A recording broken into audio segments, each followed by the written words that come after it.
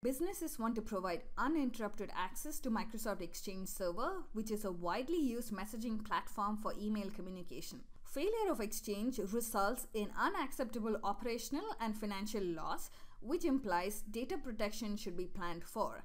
NetApp SnapCenter tightly integrates with Microsoft Exchange to enable application aware VSS based backups of Exchange environments.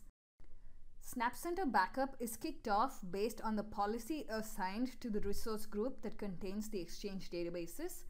The requester, which is SnapCenter, sends a backup command to the Microsoft Volume Shadow Copy service in Windows through the SnapCenter plugin for Exchange.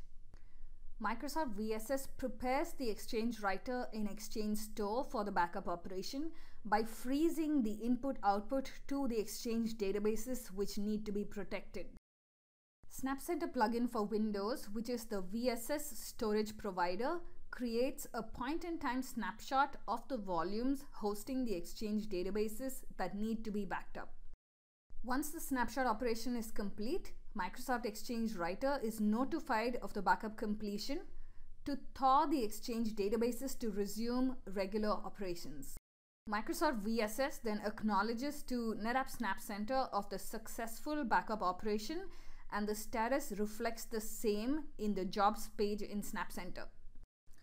Here, the SnapCenter server is installed on the Windows operating system. To enable data protection of Microsoft Exchange using SnapCenter, you need to add Exchange hosts and install the necessary plugins. As a prerequisite for this, you need to set up your storage system connection to connect to the storage virtual machine containing the data volumes hosting Exchange data on the ONTAP storage system.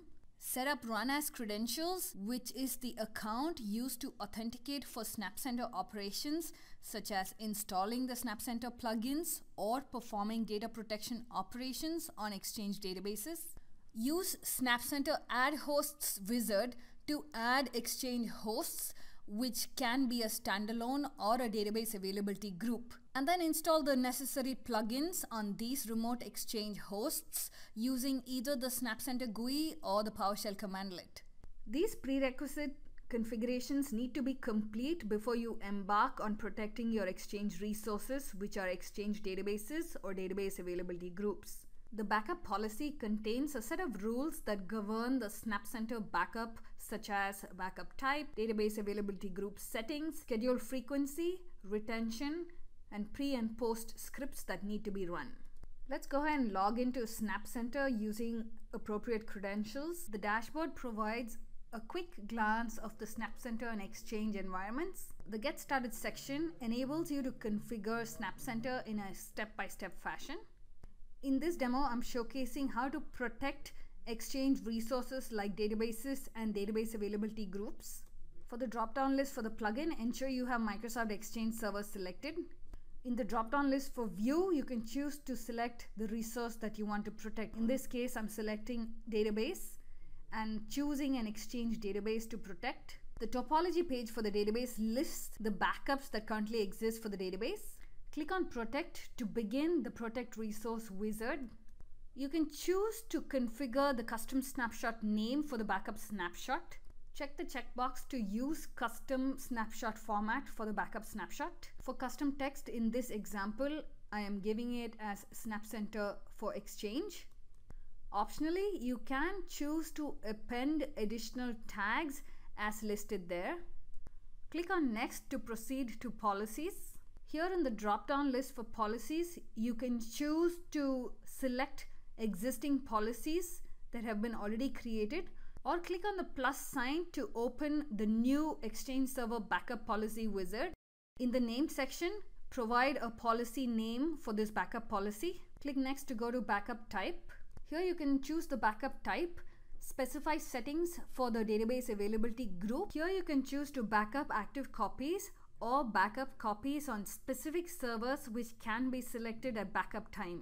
Choose a scheduled frequency. For retention, you specify the retention settings for the full and log backups. Optionally specify pre and post scripts. Review the summary of the backup policy. Click Finish. Ensure you select the policy that we just created from the drop down. Click on the plus sign to configure a schedule. Review the policies settings and click next to proceed with configuring notification.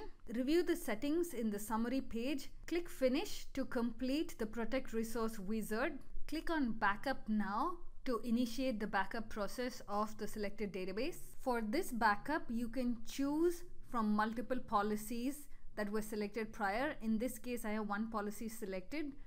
Click backup.